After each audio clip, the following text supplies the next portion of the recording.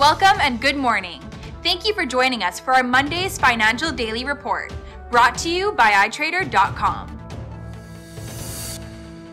The US cruise missile strikes have seen crude oil jump over 2% in a straight line, with both Brent and WTI testing resistance. The European Commission cleared Rupert Murdoch to take over pay TV group Sky on Friday.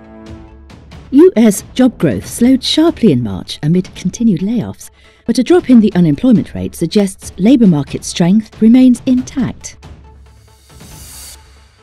The Aussie dollar pair settles at the 0.7519 level, and we're still waiting to break this level to confirm the extension of the bearish wave towards 0.7451.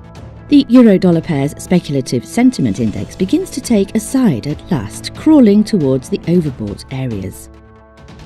eBay continues to climb gradually, the relative strength index is signalling buy, and the moving averages are giving bullish signals.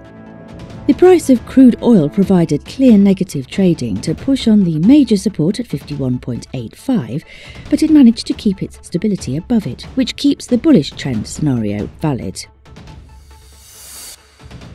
The US 3-month bill auction will be released at 15:30 GMT. The Eurozone's Sentix investor confidence at 8:30 GMT. The Japanese Eco Watchers survey at 500 GMT.